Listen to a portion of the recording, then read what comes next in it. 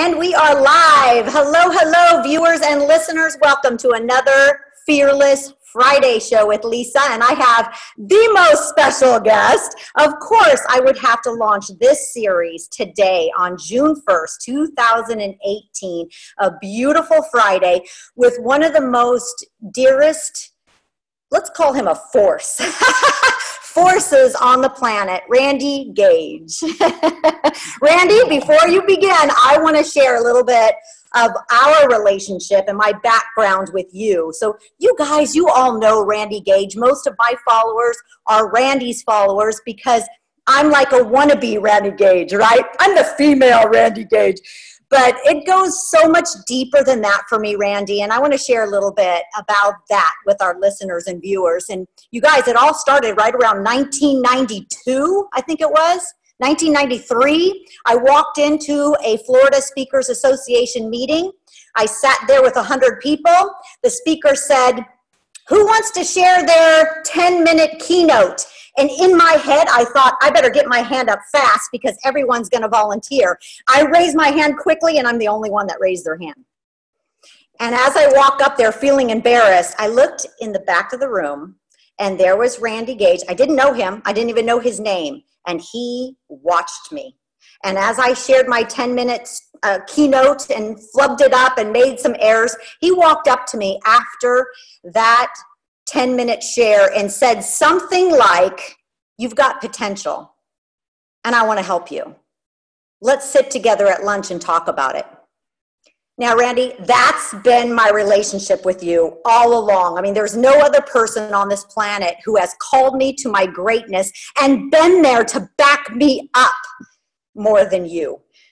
So thank you for that. You know, I, I, as long as I've known you, what year was that again? What did you? I think it was 1993. All right. So, what, 25 years, give or take? To, no, 25 I, months ago. What are you talking about? I don't even remember telling you that that morning. I didn't remember that's how we first really started. That's uh, that's breaking news to me. I just forgot about that. that that's fascinating. and then the other story I want our viewers to hear is after I went through the stage of realizing I was getting a separation and a divorce from a husband of 18 years who didn't want to be married to me anymore, uh, I went through this process of healing, and Randy helped me do that. But then one day I was getting on a plane and I thought I was healed, you guys. I thought I was healed. And as I was driving to the airport, I had a panic attack such a strong panic attack that I had to pull over. And who did I call?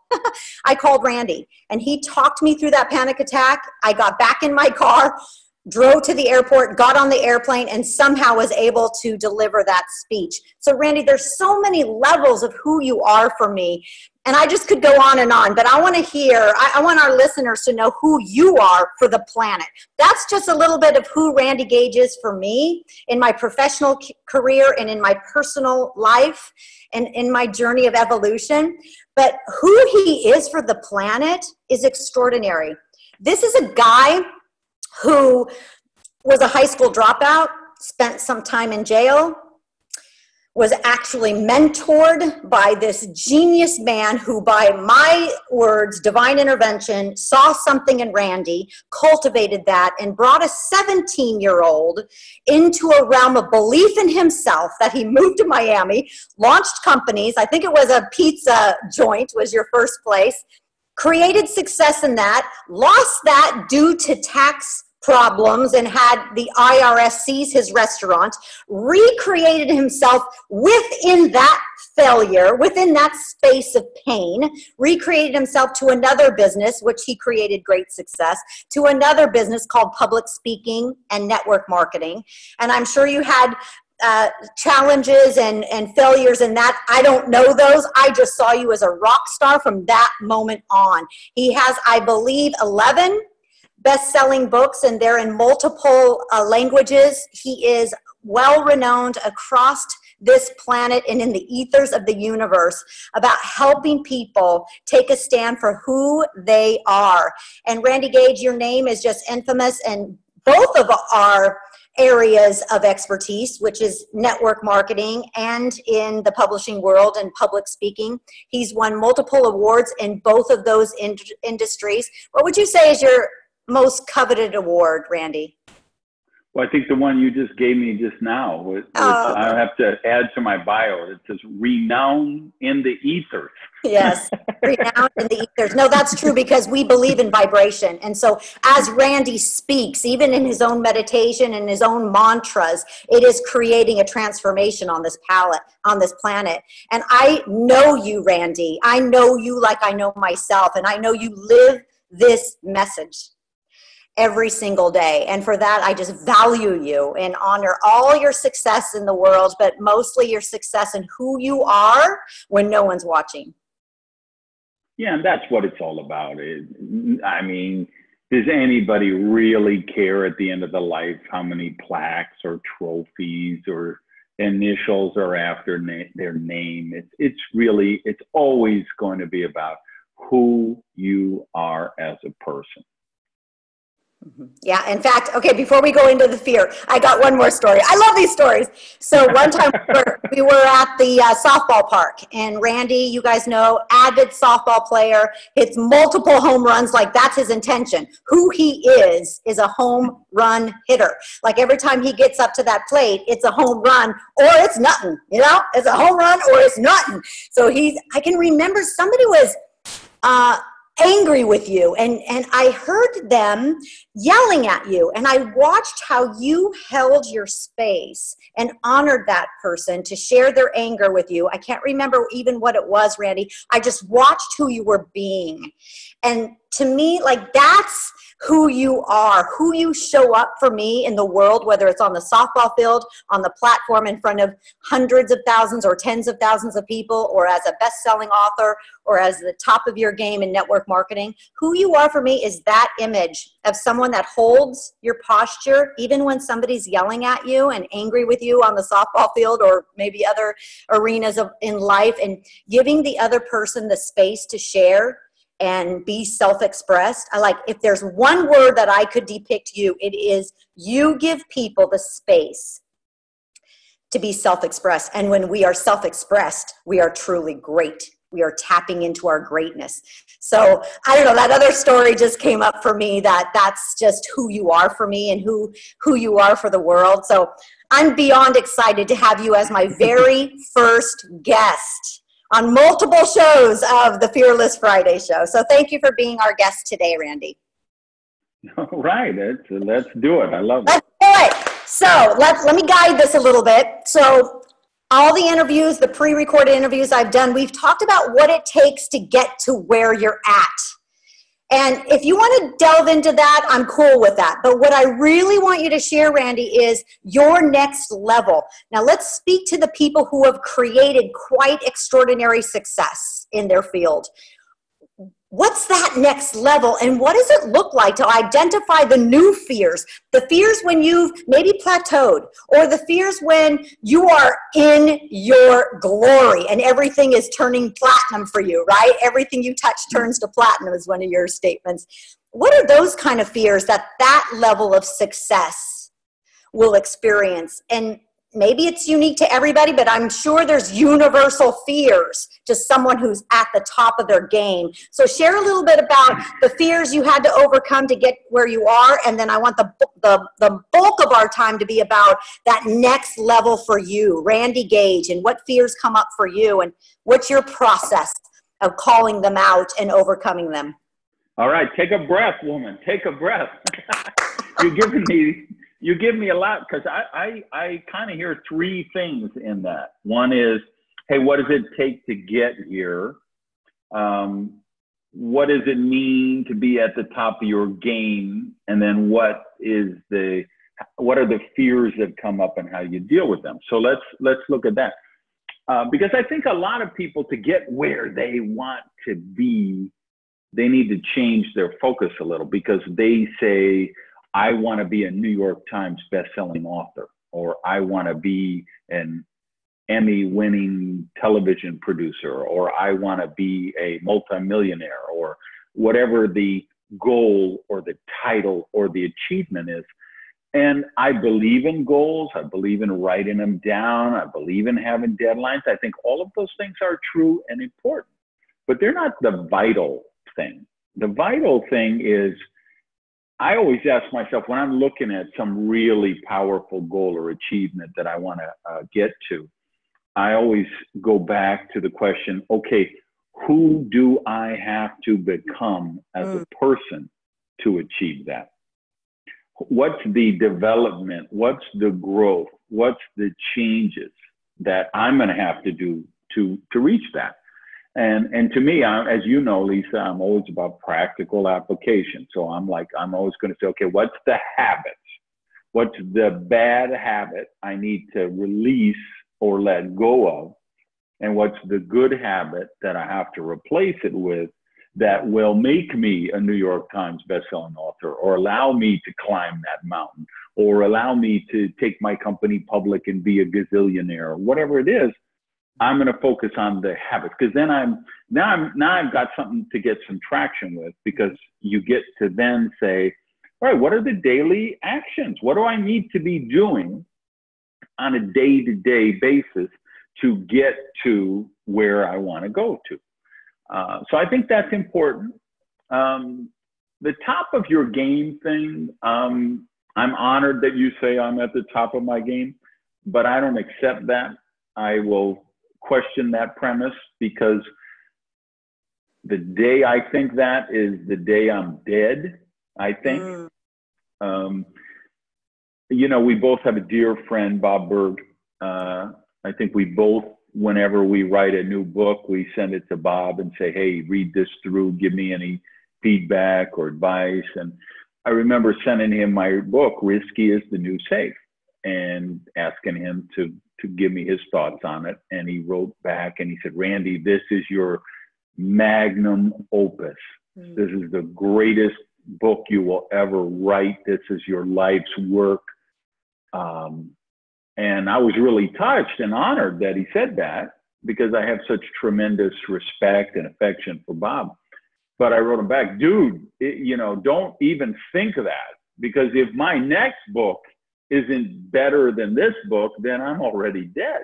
Mm. Um, I, I, I, just I remember being on a, a, a, an event. There was five or six of us, you know, best-selling authors who were all speaking at this event, and then at the end they they asked us to to do uh, go on a panel, and, and they were asking the moderator was asking us questions, and I'm like sitting in the middle of the table, and I look to my left, I look to my right, and I say, every one of these, and I won't say the word I was thinking of, every one of these people up here is living off some book they wrote 10, 20, or 40 years ago. Wow. And they're still milking that.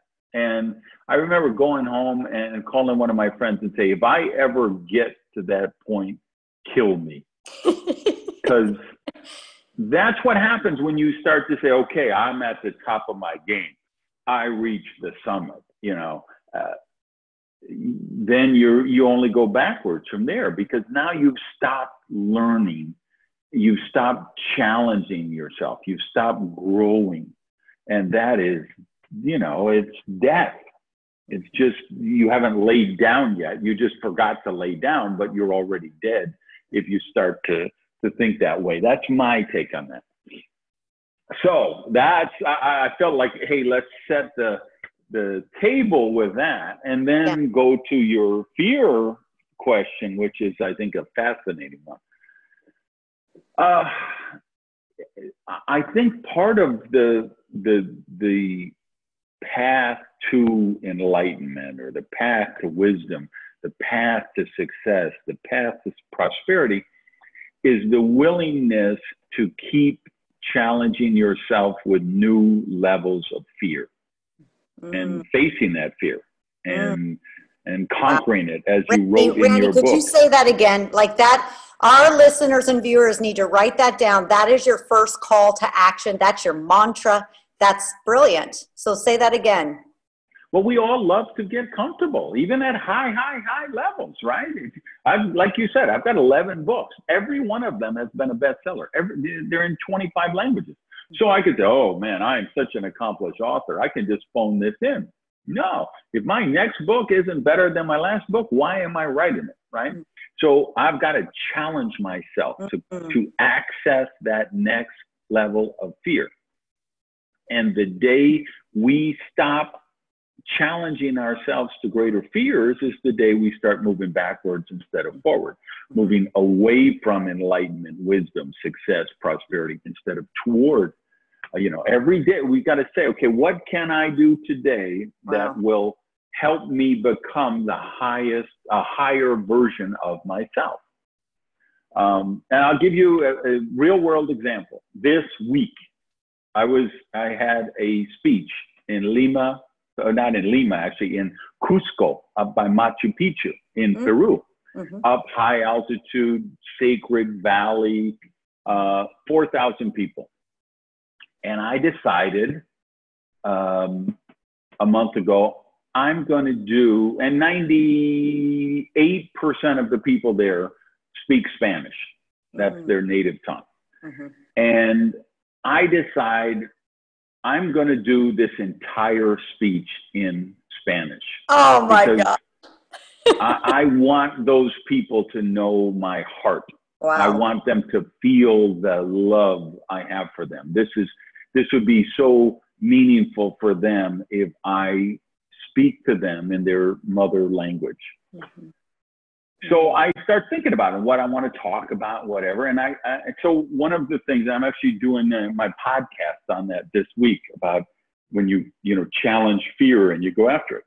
Mm. So I start, and you know, you can't rehearse a speech, you can't memorize a speech, you'll never touch anybody in a meaningful way. To, so to do a speech in Spanish or French or Russian or any language, you have to you have to think in that language. Mm-hmm. So I start to outline what do I want to talk to these people about? And I decide I think I will set the tone with the story of when I got shot back in the cocaine cowboy days of Miami. Shot, left in a pool of blood in the street, and and what that meant, and how I overcame that, and how I think that the lessons in that for the audience. Mm-hmm.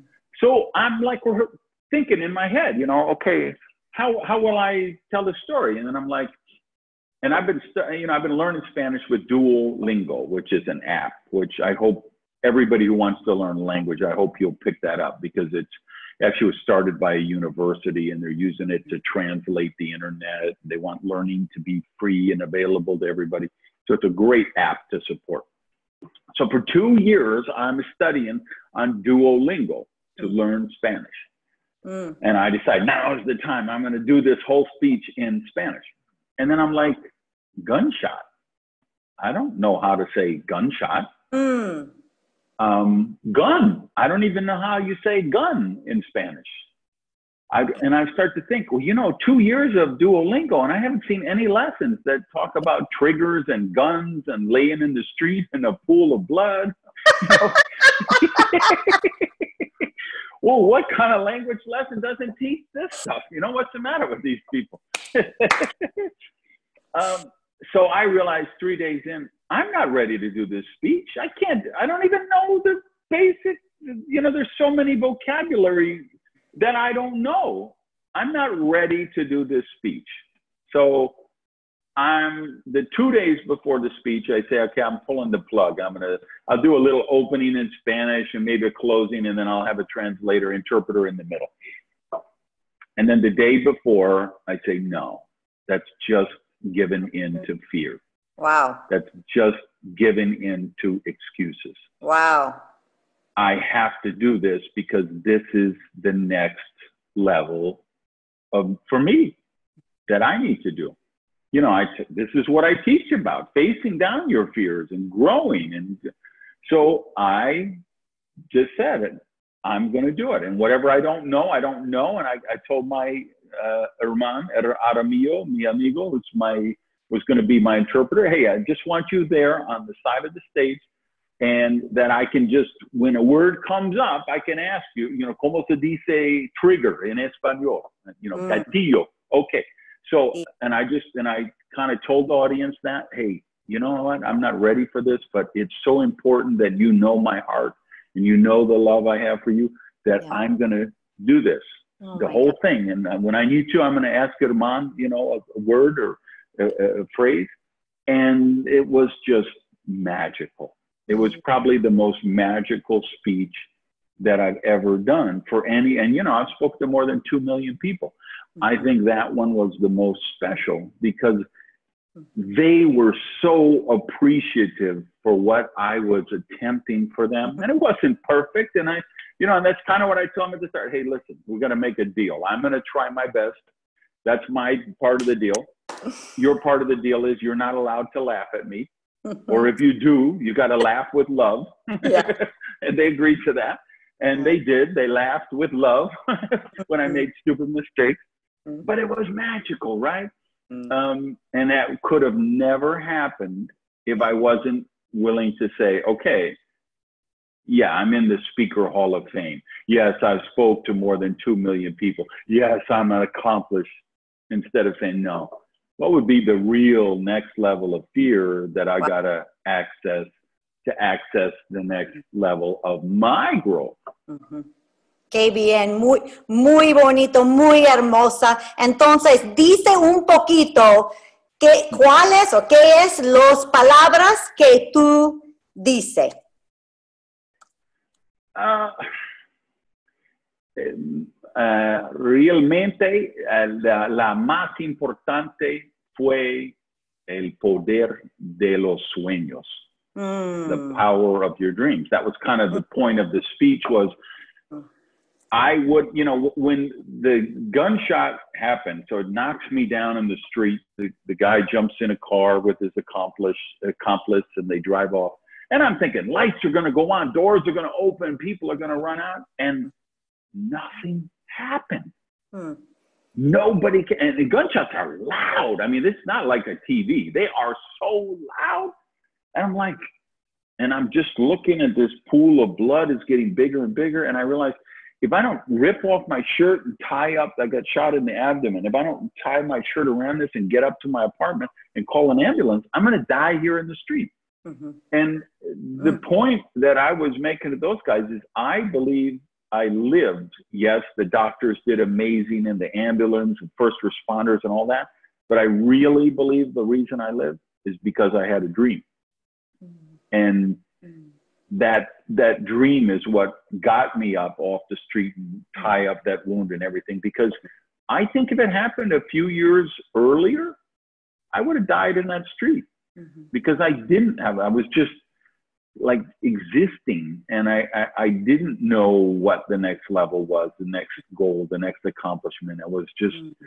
stuck in my life of quiet desperation and so that was kind of the the message for those guys was because and i felt it was so appropriate because you know we were in this sacred valley.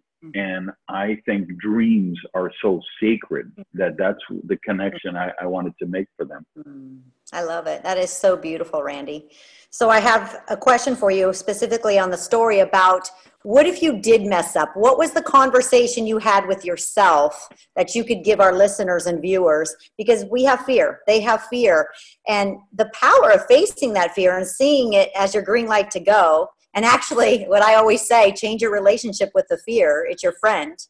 What's some of the mantras you even said to yourself as you're getting up on stage? I know you're nervous, I, you gotta be but what are what are you telling yourself as you're walking up on stage or any fear you face? Give us some of the mantras from Randy Gage. Well, two things always uh, get me through stuff like this. Number one is I know you can't, and I just literally wrote a blog about this on Wednesday. If people go on randygage.com, they mm-hmm. could see the blog from a couple days ago. Uh, and it was, you know, the theme of it is that you can't look good and get better at the same time.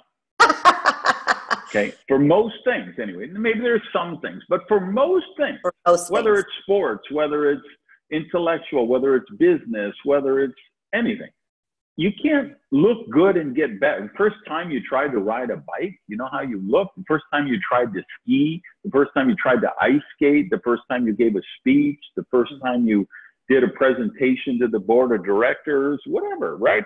You don't look great, you know, but that's how you grow. You so you make the choice. Hey, uh, it's not about me looking good, it's about me getting better, growing. Again, getting to that higher best version of myself. Mm-hmm. So, so that's really uh, something that I always hang on to. And the other thing is that people think the opposite of success is failure, and that's a big, big mistake because in actuality, the opposite of success is mediocrity. Mm. And uh, failure is Ooh. actually part of the success process because it's those failures along the way that teach us to grow and mm-hmm. learn and modify. Okay, I got to learn new skills. Oh, I need to modify my approach. We need to change this ingredient or we need, need to change that process. It's only when you make those failures that, oh, that you get to the really great levels of success. A guy like Elon Musk or Richard Branson or pick other high level achievers, they're only high level achievers because they are willing to fail. They are willing to make mistakes along the way and learn and grow and modify from those mistakes.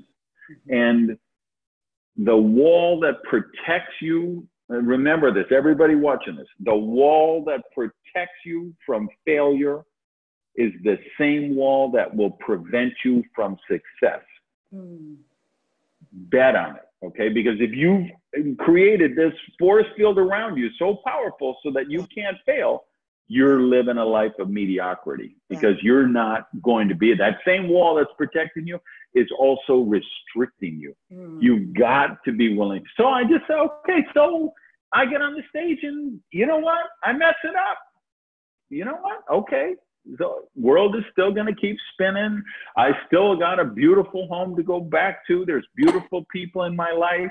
I'll have a great workout at the gym and get the stress out of my body. And, you know, and life goes on.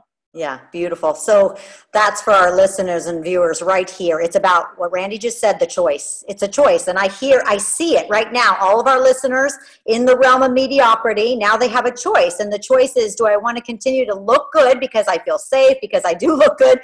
But that's the, the definition of mediocrity. Or am I willing to take a risk, make a mistake, fall down, embrace failure? Because the opposite of success is not failure, it's medi- mediocrity. Yes, exactly. Oh man, I wish we had another 20 minutes, another hour, several hours, but you guys can follow Randy Gage. You, he has a blog and it's called randygage.com. What is it? Yeah, just you'll see blog on the homepage. Yeah, okay, on the homepage. Uh, and then let's give some parting thoughts and words, Randy. So here we are we have some listeners viewers they are they are in this conversation. They know it's time it's their calling it's no mistake they were on this fearless friday today. And they're they had some fear going on and they know it's a choice they see that vision. What's your parting words for it's worth it like how can we paint the picture for all the viewers and listeners that yes, it hurts, yes, it's scary, yes, you'll fall down, and when you embrace the fear and move past it, it's flippin' worth it. So, what's your closing thoughts on it's worth it? The greatest fears are what are between you and your greatest successes. Mm-hmm. If I would have bailed at the last minute, that crowd, they know me. They love spoken at that convention. This is the fourth year in a row. They love me. I love them. If I would have bailed at the last minute and done it in English, they would have loved me. They would have given me a standing ovation. The crowd would have been electric, and and I would have gone, walked off that stage, and known I bailed. I didn't face my fear, and that would be gnawing at me here a week later it would a month later a year later it would probably still be gnawing at me mm. but let me tell you i walked off that stage electrified re-energized just you know in the coolest energy you can imagine because i faced the fringe of fear and i i stalked it down right um, Of course, and I love what you said, Lisa, to them. There's no accident you're on this show right now, watching this, listening to this. You heard it's Fearless Friday. That's right in the freaking title. So you knew this was about fear, right? And you got on anyway. And why did you get on anyway? Because you knew that's where you were meant to be, that this was the message for you mm-hmm. today, that there is some fear in your life right now that you need to confront. And you were just looking for a little con- a little confirmation from the universe that you're supposed to do that.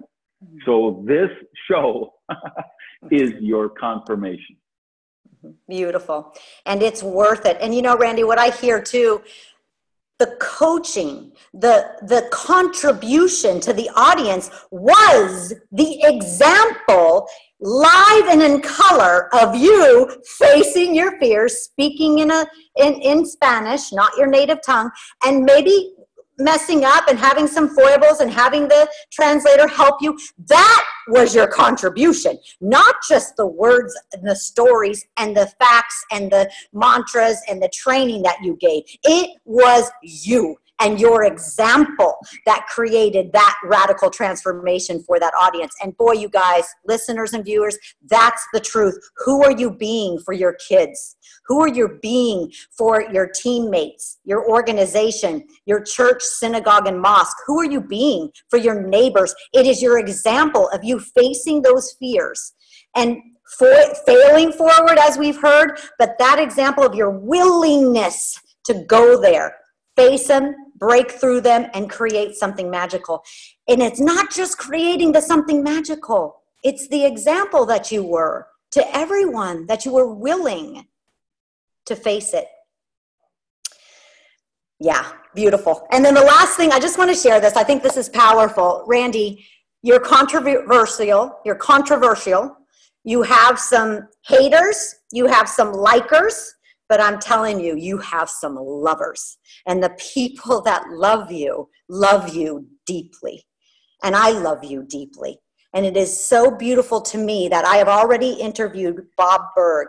And many times in that interview, he gave you accolades and shared your wisdom with how it has moved in his life. And here, the one person you mentioned was Bob Burg. So what what a beautiful synergy that you have with the people who love you dearly.